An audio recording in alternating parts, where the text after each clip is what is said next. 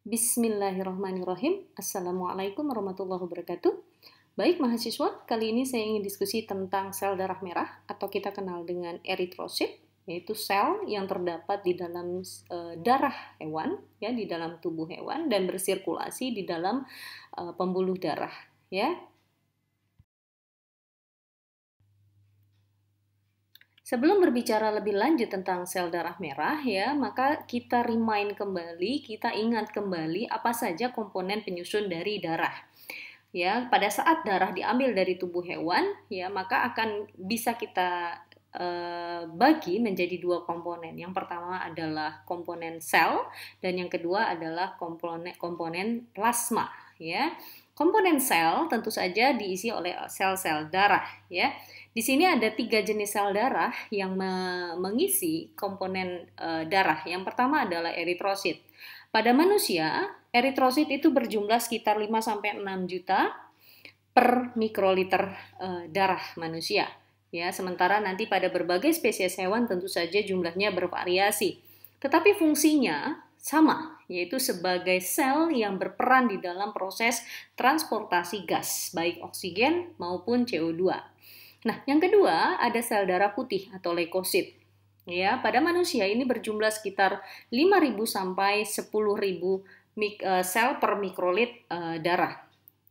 Apa peran dari leukosit? Ya, peran dari leukosit ini berperan di dalam proses pertahanan tubuh yang membangun uh, sistem pertahanan tubuh terhadap uh, mikroorganisme atau zat-zat asing yang dapat mengganggu homeostatis tubuh hewan.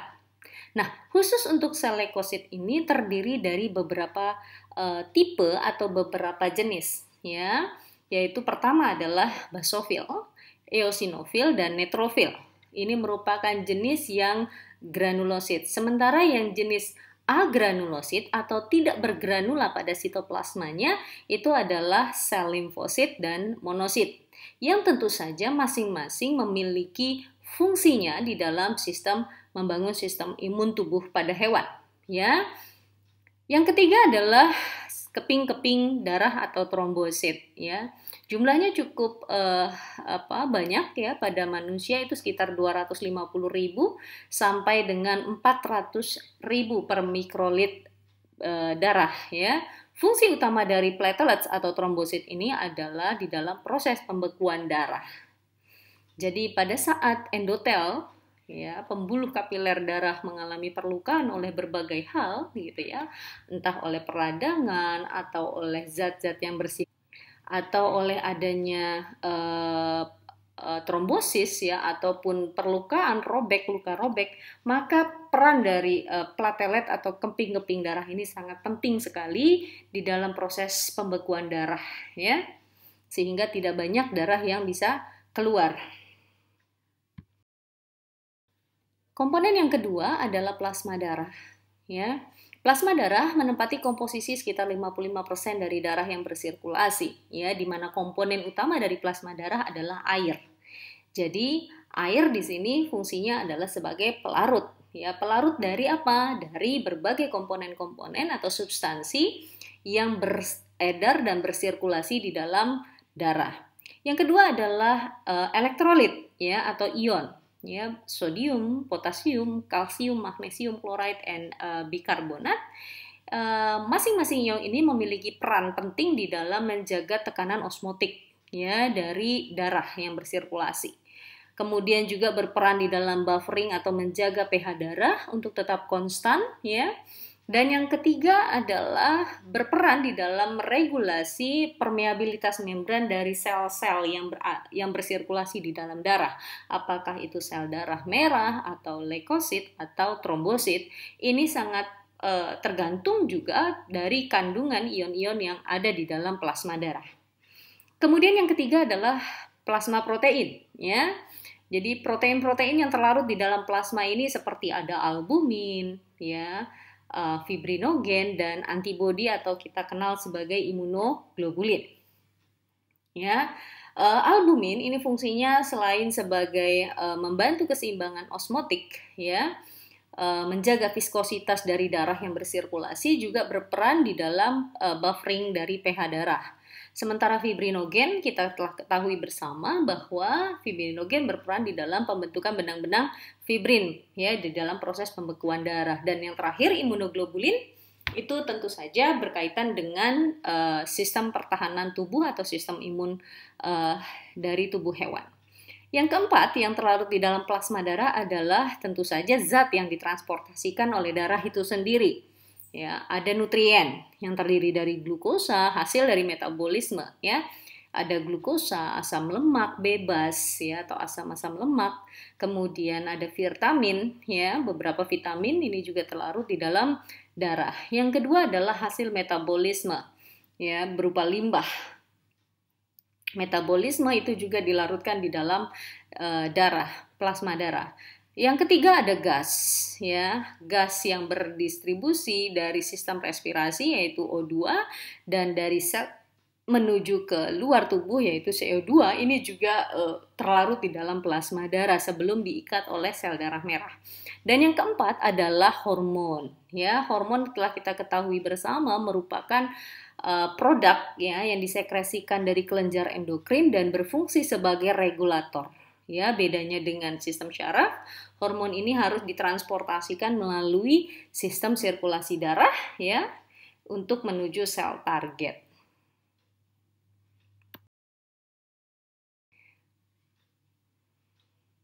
Baik, sekarang kita akan membahas tentang eritrosit. Ya, pada gambar di uh, samping ini di, diperlihatkan adalah bentuk dan struktur dari eritrosit pada manusia ya di mana eh, kandungan di dalam sel darah merah manusia itu sekitar 70% ya. Plus minus pada berbagai jenis spesies hewan ya tergantung nanti kita akan bahas di belakang. Kemudian mengandung eh, hemoglobin ya atau zat pewarna darah ya atau protein darah sel darah maksudnya 25% serta mengandung protein, lipid dan kolesterol ya kurang lebihnya 5%. Tentu saja protein, lipid dan kolesterol ini merupakan uh, komponen yang membentuk struktur sel darah merah itu sendiri ya seperti membran sel, membran inti dan berbagai membran dari organel-organel sel yang dimiliki oleh sel darah merah. Untuk manusia bentuknya bikonkav. Pada beberapa hewan nanti akan berbeda, ya. Kemudian seperti cakram dengan sitoplasma yang terdapat di dalam membran sel yang sangat elastis ya dan bersifat semi permeable. Pada manusia sel darah merah dewasa itu tidak memiliki inti. Nanti pada beberapa jenis hewan memiliki inti yang tentu saja memiliki fungsi ya uh, sebagai bentuk adaptasi fisiologi dari tubuh hewan tersebut. Warna eritrosit pada berbagai hewan itu berbeda-beda, ya, tidak selalu merah sama dengan manusia. Yang pertama warna merah dimiliki oleh manusia dan beberapa hewan vertebrata. Warna merah pada eritrosit manusia dan beberapa hewan vertebrata ini akibat dari gugus hem yang terdapat di dalam eritrosit ya, di dalam hemoglobin yang mengikat Fe, ion Fe ya. Nah, eh, jumlah atau uh, warna ini sangat tergantung dari kadar atau kondisi hemoglobin yang ada di dalam sel darah merah ya. Kejenuhan hemoglobin mengikat oksigen atau uh, jumlah oksigen yang terikat di dalam hemoglobin ini menentukan kualitas atau intensitas warna merah pada eritrosit uh, manusia atau uh, vertebrata. Semakin banyak atau semakin jenuh hemoglobin mengikat uh, oksigen, maka warna yang dihasilkan dari sel darah merah itu adalah merah terang. Tetapi ketika hemoglobin melepaskan oksigen ke dalam sel, maka hemoglobin akan berwarna cenderung kebiruan atau berwarna merah relatif gelap ya. Ini terdapat pada pembuluh darah vena. Nah, ini kita bisa ukur ya kualitas uh, pengikatan kadar atau kejenuhan kadar uh, oksigen yang diikat oleh hemoglobin dari pembuluh warna dari pembuluh darah. Pada manusia, eritrosit itu menyimpan sekitar 2,5 gram zat besi ya. Kurang lebih ini merupakan mewakili sekitar 60 sampai 65% kandungan zat besi yang terdapat di dalam tubuh manusia. Artinya, sel darah berperan penting di dalam atau membutuhkan zat besi di dalam menjalankan fungsinya sebagai transportasi gas. Ya, tetapi tidak semua hewan memiliki warna merah. Ada hewan yang memiliki warna eritrositnya kuning, ya. Nah, pada hewan yang berwarna kuning, dalam hal ini adalah kumbang dan teripang laut, ya, ini diakibatkan oleh logam yang terlarut di dalam sel darah merah atau eritrositnya ya yang terkandung e, mengandung logam yang bernama vanadium yang terkandung di dalam protein yang kita sebut sebagai vanabin. Nah, vanabin inilah yang bertanggung jawab memberikan warna kuning pada eritrosit, e, kumbang dan teripang. Lalu ada e, erit, beberapa hewan yang juga memiliki eritrosit Eh, tidak berwarna merah, yaitu hijau. Nah, untuk hewan-hewan yang memiliki eritrosit berwarna hijau, ini sejenis kadal dan cacing ya. Ada beberapa hewan yang memiliki uh, eritrosit berwarna hijau seperti uh, lintah, kemudian ulat apa tembakau ya, uh, tobacco worm ya uh, ulat pada pohon tembakau, kemudian uh, ada juga kadal ya, kadal juga darahnya berwarna uh, hijau. Nah, warna hijau ini didapatkan dari adanya pigmen ya. Pigmen yang kita sebut sebagai biliverdin ya. Uh, dan juga kandungan protein darah yang uh, kita sebut sebagai klorokroin ya di mana warna hijau ini akibat dari proses oksigenasi dari sel ya eh, pada saat sel darah merah mengikat oksigen. Kemudian ada juga beberapa hewan yang memiliki warna darah kebiruan atau biru ya di antaranya ada kalajengking, um, laba-laba, kepiting ya, udang uh, kepiting ya, kepiting.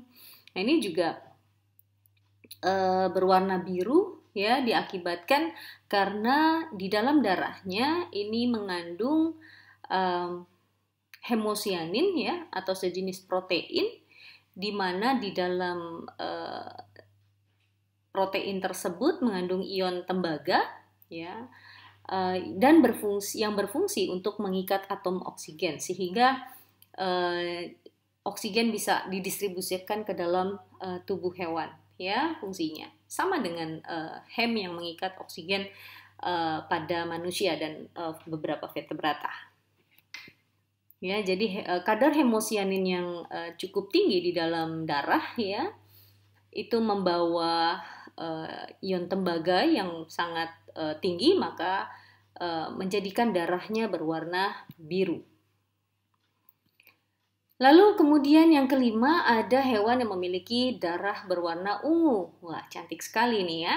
Contohnya adalah cacing tanah, uh, maaf, cacing kacang ya atau kita sebut dengan apa ini? peanut worm ya.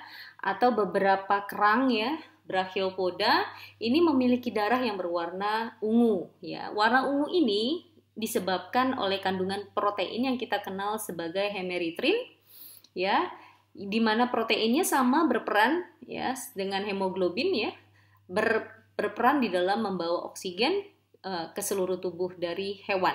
Nah, selain dari sebagai oksigen carrier, protein hemeritrin ini juga bertugas membantu uh, cacing dalam hal ini ya pada saat dia mengalami putus pada segmen tubuhnya. Jadi kan cacing bisa putus nih tubuhnya. Nah, dia akan membantu uh, tubuh cacing untuk mampu beregenerasi sehingga bisa memanjangkan lagi uh, atau memanjangkan lagi segmen-segmen tubuhnya. Ya, juga beberapa penelitian melaporkan hemeritrin ini juga membantu hewan-hewan laut yang memiliki darah berwarna ungu ini uh, berperan apa melawan infeksi dari berbagai agen infeksius pada hewan tersebut. Nah, ini seperti yang saya sudah jelaskan tadi ya, ada beberapa protein carrier atau beberapa protein yang menyebabkan eritrosit bisa berwarna e, berbeda-beda pada berbagai hewan. Ada hemoglobin ya untuk berwarna merah, kemudian ada hemeritrin yang berwarna ungu tadi, kemudian ada yang e, uh, bening ya, transparan atau cenderung kuningan, kemudian ada hemosianin dan ada kloroklorin ya yang berwarna kehijauan. Lalu bagaimana dengan struktur eritrosit pada hewan? Kalau pada manusia tadi sudah dijelaskan ya, berbentuk bikonkav ya, kemudian tanpa adanya nukleus sehingga jumlah Hb atau protein hemoglobin di dalam sel darah manusia dan hewan vertebrata yang tidak memiliki inti itu relatif lebih banyak dibandingkan hewan yang memiliki inti pada eritrositnya. Sehingga apa akibatnya? Dampaknya adalah jumlah oksigen yang dapat diikat atau dibawa oleh sel darah merah manusia yang berwarna merah ya. Ini uh, atau yang tidak memiliki inti ini relatif lebih banyak ya sehingga efisiensi pembawaan gas atau efisiensi pembawaan oksigen di dalam hemoglobin itu menjadi lebih efektif pada hewan-hewan yang tidak berinti eritrositnya. Nah, sementara pada unggas ya eh, bangsa burung eritrositnya berinti, bentuknya pun berbeda pada manusia. Ya, bisa kita lihat di sini beberapa bentuk dari uh, apa eritrosit katak ya pada ikan, kemudian juga pada kura-kura dan pada burung ya, semua memiliki inti. Ya, apa fungsinya? Ya. E, inti akan mengambil mengambil fungsi si, e, mengatur sel darah sehingga e, fungsi uh, sel itu bertahan lebih lama ya. Kemudian juga sekret dari hasil metabolisme protein dari inti itu juga membuat sel darah memiliki umur yang relatif lebih uh, lama. Tetapi dampaknya adalah jumlah dari hemoglobinnya relatif lebih sedikit dibandingkan dengan eritrosit yang tidak memiliki inti, gitu ya. Nah, ini kemudian ada beberapa ukuran ya uh, dari beberapa jenis hewan kita bisa lihat bahwa untuk manusia itu relatif kecil ya, hanya 7,7 mikron ya. Sementara pada bangsa burung itu bentuknya memang oval dan berukuran 12,6 mikron, pada ikan relatif lebih besar lagi ya 13,6. Kemudian pada katak 23, pada kura-kura sekitar 20 mikron. Jadi besar sekali ya. Semakin besar ukuran maka uh, jumlah sitoplasmanya itu akan relatif lebih uh, banyak ya pada hewan yang memiliki inti pada eritrosit sehingga uh, fungsi pembawa oksigennya akan lebih uh, efektif pada hewan-hewan tersebut. Nah, seperti yang sudah saya katakan tadi ya bahwa oksigen berperan sebagai mengangkut oksigen um, mohon maaf, sel eritrosit berperan mengangkut oksigen yang diikat pada hemoglobin. Nah, pada eh, laki-laki dewasa manusia itu berjumlah sekitar 5 juta sel dan pada perempuan sekitar 4 juta. Bagaimana dengan hewan? Tentu saja berbeda ya, tergantung pada uh, kebutuhan dan uh, tempat hidup hewan itu sendiri karena kita tahu bahwa kondisi suhu lingkungan pada hewan dan kategori dari hewan itu juga akan mempengaruhi jumlah sel darah yang bersirkulasi. Di sini saya sampaikan beberapa hewan ya dari kelas uh, ikan ya. Misalnya misalnya pada ikan, kemudian pada katak yang tadi sudah saya sampaikan, kemudian reptil ya sama-sama memiliki hemoglobin dengan manusia tetapi nilai atau kadar hemoglobin hematokrit ataupun uh, eritrositnya lebih tinggi itu pada dibandingkan dengan bangsa Aves dan Mamalia. Ya, kalau tadi eh, saya sampaikan bahwa pada manusia sekitar 5 juta sel ya, sementara pada bangsa beberapa laporan penelitian ya pada jurnal ilmiah itu melaporkan bahwa jumlah untuk eh, eritrosit pada beberapa hewan itu lebih tinggi ya dibandingkan pada pada manusia. Begitu juga dengan leukositnya. Ini bisa kita lihat di dalam tabel ya. Uh, nilai PCV ya, kemudian hemoglobinnya ya. Tertinggi itu pada babi ya, kemudian pada domba 8 sampai 16 dan pada beberapa uh, roden juga di sini 10 sampai 15% ya. Kemudian limfositnya di sini kita lihat Uh, yang paling tinggi adalah pada babi ya sekitar 40 sampai 60 persen gitu ya. Pada uh, domba 40 sampai 70 dan yang terendah adalah pada hewan rodensia. Bisa uh, Anda lihat pada slide. Nah, bagaimana proses pembentukan sel darah merah? Ya, Proses pembentukan sel darah merah atau eritrosit ini terjadi pada hewan yang dewasa, terjadi pada sumsum -sum tulang. Apa yang dibutuhkan untuk membentuk uh, proses atau me membuat sel darah merah? Yang pertama adalah biliverdin. Yang kedua, protein transferin yang mengikat Fe, lalu yang ketiga adalah protein globin, ya. Bagaimana prosesnya? Kita bisa lihat dalam gambar skema. Di sini proses yang pertama ini terjadi di dalam sumsum -sum tulang, ya, di mana sel puncak stem cell dalam hal ini uh, kemudian dia akan mengalami diferensiasi menjadi eritroblast, ya. Lalu eritroblast akan mengalami proses diferensiasi, ya, perubahan dari warna uh, inti, ya, dan sitoplasma kemudian sampai terjadi uh, apa uh, perubahan struktur membentuk reticulocyte ya. Lalu reticulocyte akan dirilis ke dalam sirkulasi darah. Jadi reticulocyte akan dirilis ke dalam sirkulasi darah dan dalam waktu hitungan uh, hari atau jam ya itu akan uh, matang dan menjadi eritrosit dan bersirkulasi ya untuk menjalankan fungsinya membawa oksigen dan CO2. Nah, pada manusia ini umur dari sel darah merah pada saat dia mature eh, dan menjalankan fungsinya sebagai pembawa oksigen itu berkisar sekitar 120 hari. Ya. Nah, setelah 120 hari apa yang terjadi? Maka sel darah akan menjadi tua. Ya. Uh, tua, kemudian juga membran selnya akan pecah ya dan akan uh, di, dikenal oleh sel-sel uh, imun itu sebagai benda yang harus dieliminasi. Maka terjadilah proses fagositik ya, ini dilakukan oleh uh, makrofag. Ya, di dalam uh, sel darah ya, makrofag di dalam sumsum -sum tulang juga terdapat di hati dan juga pada limpa ya terjadilah pro, proses fagolisosom di mana makrofag akan menelan ya memfagosit kemudian mencernanya di dalam lisosom sel eh, di dalam lisosom makrofag dan sisanya ya akan dipecah struktur proteinnya ya di mana hemoglobin akan dipecah di breakdown menjadi beberapa eh, asam amino ya dan ini asam amino bisa kemudian dimanfaatkan lagi oleh tubuh ya atau di recycle istilahnya begitu ya. Nah, pecahannya selain dari menjadi asam amino juga ada pecahan-pecahan uh, ion uh, apa zat besi karena kan tadi hemenya mengikat zat besi. Zat besi akan dirilis ya. Beberapa grup heme juga akan dipecah.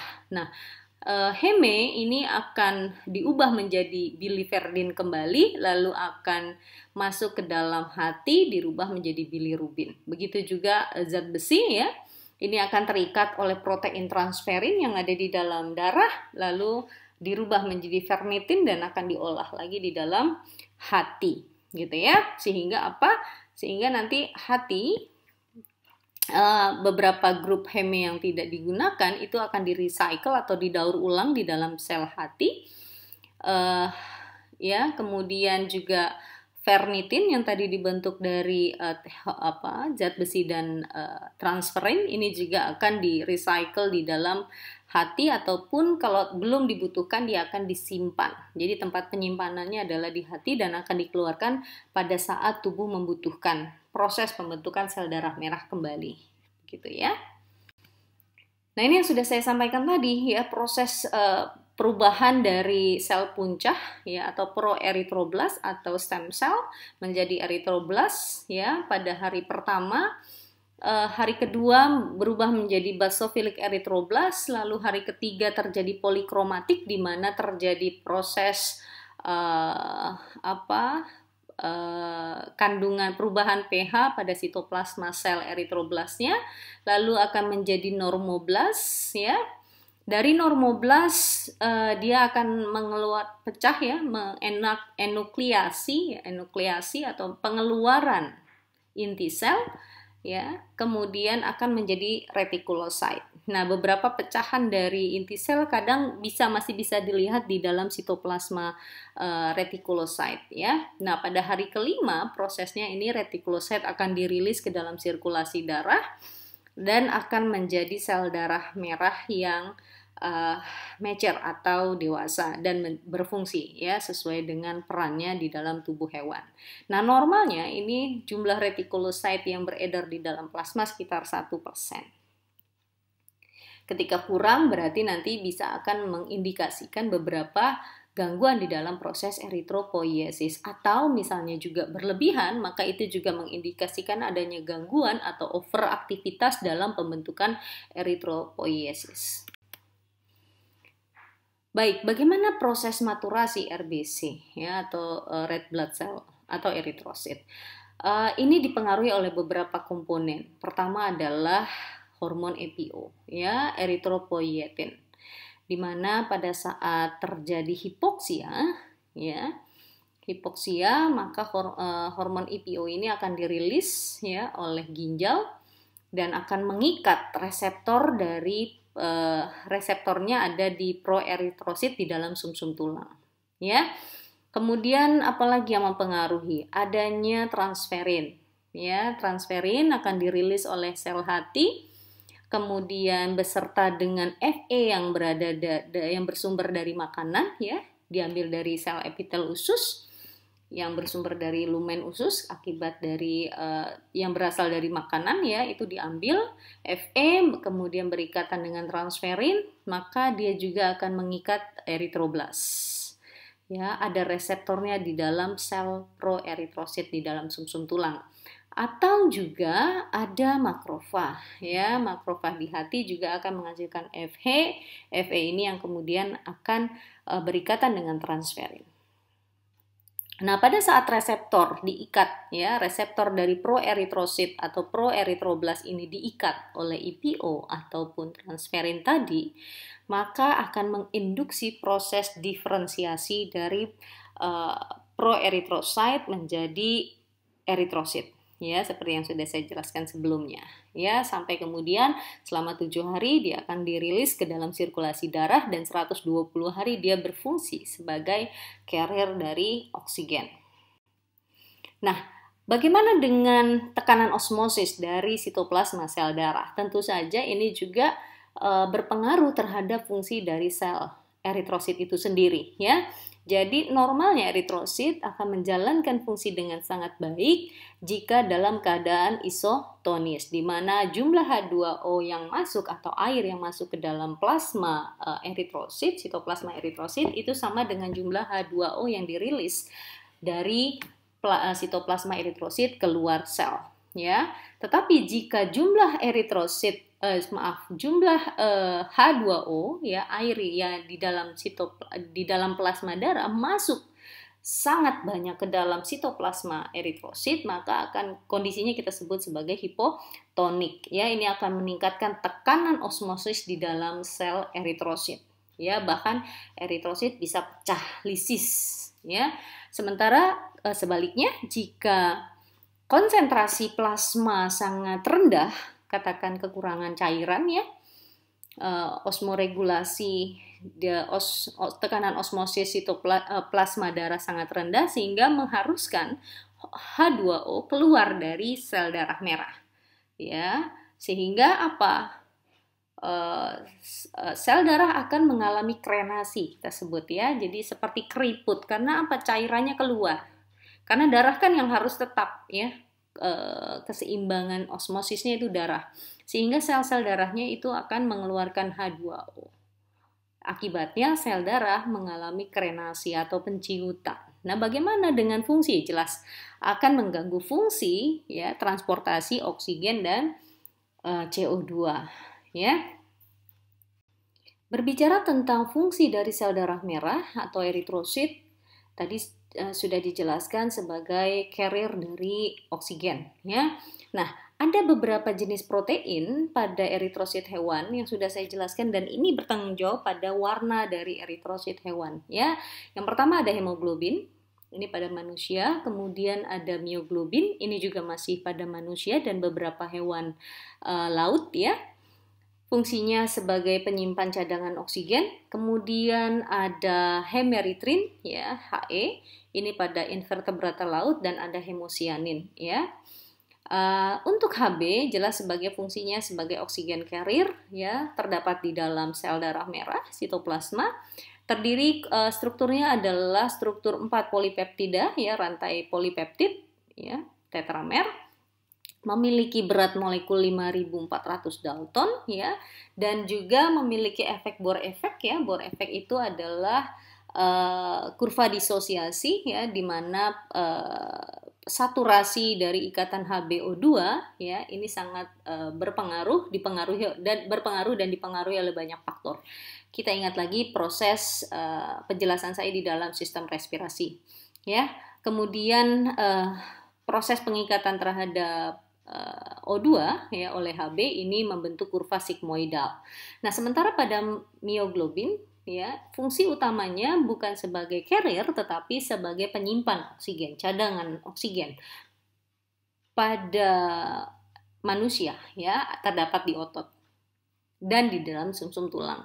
Pada beberapa hewan laut juga memiliki mioglobin, kandungan mioglobin yang cukup tinggi sehingga membuat hewan tersebut dapat bertahan uh, hidup di dalam lingkungan oksigen yang sedikit sekali ya ini merupakan uh, rantai uh, single ya rantai uh, tunggal polipeptida ya monomer.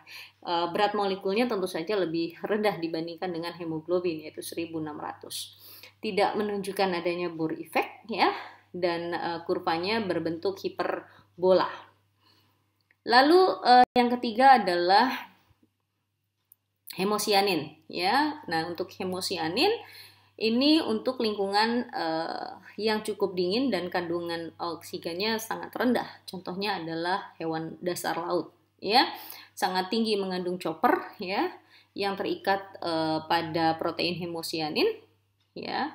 Tujuannya adalah uh, pengikatan dengan oksigen, ya, tidak terlalu ter, tidak terjadi sepanjang waktu, ya, biasanya dalam bentuk bebas di dalam darah. Ini beberapa karakteristik dari protein pembawa oksigen, ya, hemoglobin, hemeritrin, dan hemosianin. Kita bisa lihat pada struktur hemoglobin, ya, di mana uh, ion yang atau zat uh, logam yang terikat pada hemoglobin adalah ion Fe. Begitu juga dengan hemeritrin ya. Sementara pada hemosianin ini terikatnya adalah hewan uh, ion chopper. Kemudian eh, perbandingan antara ion dengan oksigen yang diikat untuk hemoglobin 1 banding 1, hemeritrin 2 banding 1, dan hemosianin itu 2 chopper berbanding 1 molekul oksigen. ya. Nah, akibat adanya ikatan ini, maka warna yang terbentuk pada hemoglobin, ya pada hemoglobin itu merah, pada pada hemeritrin itu violet sampai pink, kemudian hemosianin menghasilkan warna eritrosit biru ya. ini bisa Anda baca pada slide. Ya, ini strukturnya dari hemoglobin dan hemeritrin serta hemosianin. Lalu bagaimana dengan homeostatis dari eritropoiesis ya? Uh, tadi sudah dijelaskan bagaimana proses pembentukan hemo, he, uh, eritropoiesis ya akibat adanya uh, ikatan ya antara beberapa senyawa kimia pada reseptor eritoblas. Nah, beberapa hal yang berpengaruh di dalam proses eritropoietin atau eritro maaf eritropoiesis adalah pertama pada saat kadar ion di dalam darah rendah yaitu ion uh, Fe ya. Kemudian pada saat tubuh hewan kekurangan vitamin B12, kemudian kekurangan asam folat, kekurangan EPO ya ke, atau terjadi aplasia atau gangguan dari uh, sumsum -sum tulang ya maka ini akan berdampak pada proses eritropoiesis karena struktur uh, struktur tadi seperti vitamin B12, asam folat dan uh, zat besi ya serta hormon EPO ini berperan di dalam uh, induksi atau pro, uh, menjadi uh, promotor ya terjadinya uh, proses eritropoiesis. Ya. Apa dampaknya ketika terjadi uh, defisit eritrosit? Jelas ya, anemia kondisinya ya. Misalnya uh, hemolisis ya. Uh, kekurangan sel darah merah akibat proses kalau di sini uh, yang sebelah kiri adalah faktor-faktor yang mengakibatkan gangguan di dalam proses pembentukan sel darah, kemudian darah sehingga mengakibatkan sel darah yang bersirkulasi menjadi sedikit ya. Ada juga faktor hemolisis ya, pecahnya sel darah merah yang ada di dalam pembuluh darah atau misalnya kehilangan darah atau blood loss akibat misalnya ruptur dari uh, endotel darah ya perlukaan. Atau akibat dari aktivitas hipersplenisme jadi uh, gangguan pada fungsi uh, limpa. Ini juga bisa mengakibatkan uh, kekurangan eritrosit di dalam uh, yang bersirkulasi di dalam darah. Apa akibatnya? Anemia. Nah ya jadi anemia ini disebabkan karena banyak faktor. Yang paling mudah adalah hemoragi atau perdarahan. Ya, jelas kejadian perdarahan baik sedikit ataupun banyak, baik eksternal ataupun internal, itu akan mengakibatkan keluarnya sel darah dari pembuluh darah, ya. Bisa juga diakibatkan intravaskular hemolisis atau penyakit-penyakit autoimun, ya atau gangguan pada membran yang berperan di dalam fungsi metabolik, katakan gangguan usus dan yang lain-lain sehingga Fe tidak masuk ke dalam sirkulasi darah dengan cukup baik, melainkan dibuang melalui saluran eh, digestif. Kemudian adanya masalah pada uh, pematangan ya, pematangan dari sel darah merah itu sendiri. Misalnya beberapa penyakit yang disebabkan oleh gangguan uh, pematangan sel darah merah itu adalah talasemia ya atau gangguan dari uh, defisiensi uh, Fe atau misalnya kekurangan asam folat dan vitamin B12. Nah, yang yang kemudian yang bisa juga menyebabkan terjadinya anemia adalah terjadi hipoproliferasi dari uh, eritroblast menjadi eritrosit. Akibat dari apa? Akibat dari adanya kerusakan pada sumsum -sum tulang, ya. Atau misalnya stimulannya yang tidak bekerja, contohnya pada kasus penyakit gagal ginjal, ya. Akibat gagal ginjal, maka jumlah EPO yang bisa disekret oleh ginjal rendah. Akibatnya apa? EPO tidak banyak atau tidak cukup mengikat pada reseptor EPO yang ada di dalam proeritoblas tadi gitu ya. Jadi di sini saya gambarkan beberapa kausa yang bisa mengakibatkan kondisi anemia, jumlah sel darah merah tidak atau di bawah normal. Baik, saya rasa cukup sekian eh, pemaparan saya tentang sel darah merah. Ya, semoga bermanfaat. Terima kasih. Assalamualaikum warahmatullahi wabarakatuh.